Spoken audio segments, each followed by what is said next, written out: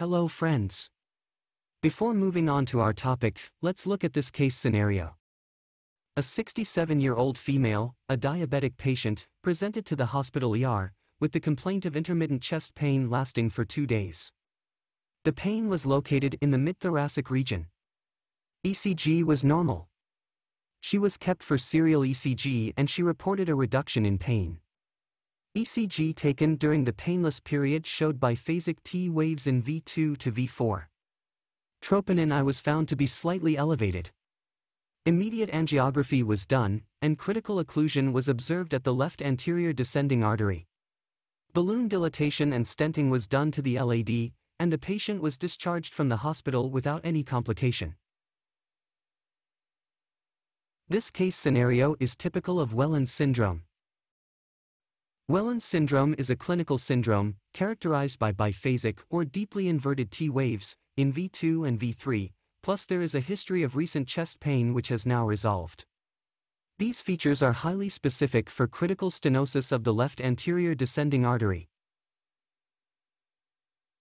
Identifying the syndrome carries significant diagnostic and prognostic value because, patients with Wellens syndrome generally have a high risk of developing an acute MI in the following days to a week, and the risk of sudden cardiac arrest is also high.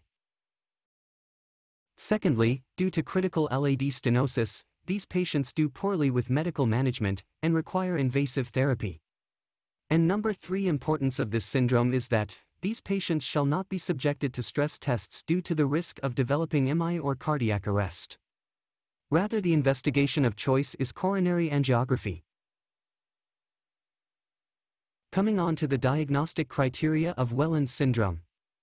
These include leads V2 and V3 showing negative and symmetrical deep T waves, or biphasic T waves. The changes may rarely extend from V1 to V6, depending on the proximity of the lesion in the associated artery. Other criteria in addition to the finding of biphasic or inverted T waves include the observation of described ECG findings during the painless period, ST segment is isoelectric or is mildly elevated up to 1 mm, absence of precordial Q waves, a history of angina, and lastly, normal or mildly elevated cardiac enzymes. As obvious from the criteria, Wellens syndrome has two different types of T-wave morphologies, seen during the painless period.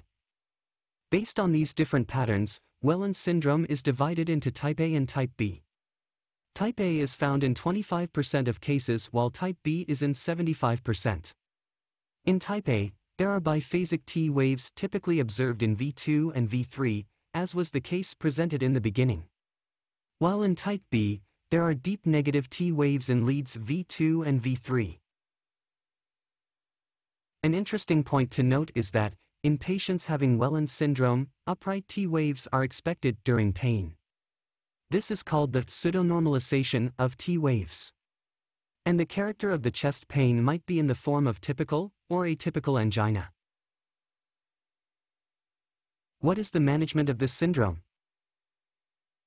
As has already been discussed, these patients need urgent coronary intervention due to the risks of extensive MI and sudden death.